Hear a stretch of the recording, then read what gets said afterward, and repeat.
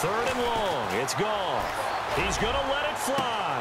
And this is intercepted, and that should do it. Picked off by the longtime Raider, Willie Brown. And he'll bring it all the way back just a yard or two shy of midfield. Obviously disappointing, but you had to go for broke here, down two scores. So that forced you to make some throws you definitely wouldn't want to make. And I think this interception is going to pretty much write an end to this one.